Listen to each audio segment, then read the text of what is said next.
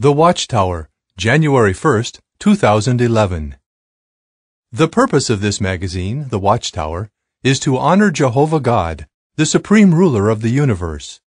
Just as watchtowers in ancient times enabled a person to observe developments from afar, so this magazine shows us the significance of world events in the light of Bible prophecies.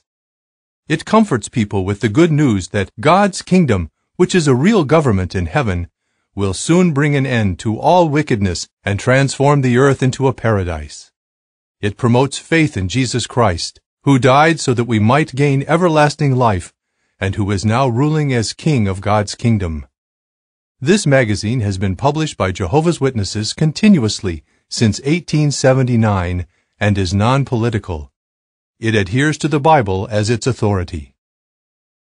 This issue of the Watchtower opens with the cover series entitled The Garden of Eden, Myth or Fact?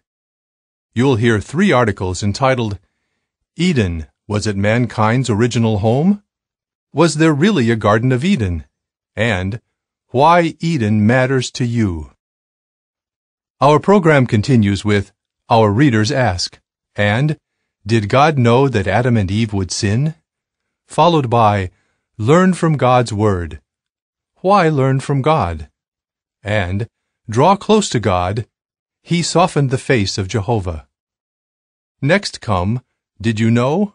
and Does God really care about you? Followed by Imitate their faith. He endured despite disappointments. And An East Asian in Ancient Italy. Our program concludes with For young people, appreciate sacred things. We begin now with our cover series, The Garden of Eden, Myth or Fact, and the first article,